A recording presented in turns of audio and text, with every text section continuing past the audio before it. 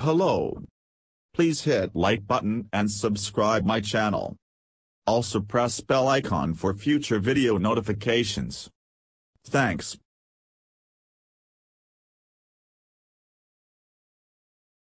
Tesla moves forward with applying improvements to the low-voltage system of its electric vehicles, which so far was operating at roughly 12 volts just like in the vast majority of other cars. During the recent 2023 Investor Day, Tesla's representatives confirmed the intention to introduce a 48V system, which despite many years, is still a rare solution in the automotive industry.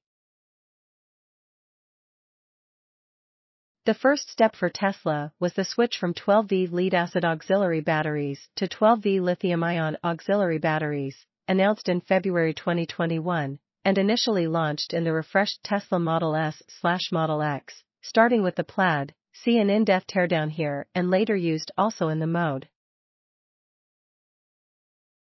According to Tesla, the old lead-acid batteries were a major source of failures in Tesla cars, and they needed a replacement about every four years or so.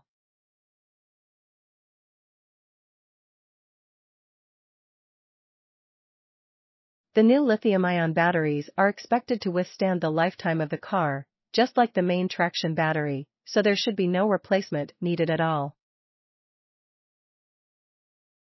That's the obvious improvement, on top of which comes a smaller size and lower weight, 87% reduction.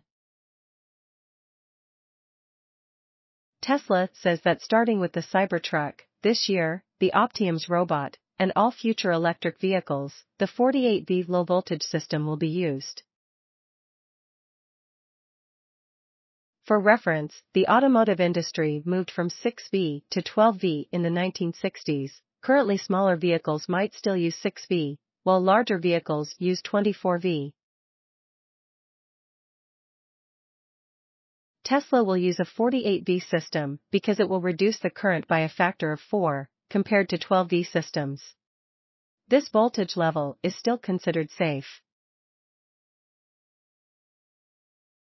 The increase in voltage is a necessity as power demand for onboard electrical devices steadily increases, and at 12V, the wires are becoming thick, heavy, and costly.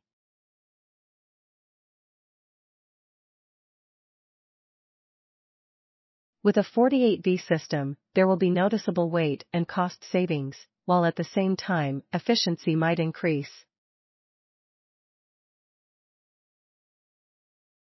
That's a really interesting change, which will also require a new 48V lithium-ion auxiliary battery. In the case of Tesla, it might even be produced in-house, we don't know yet.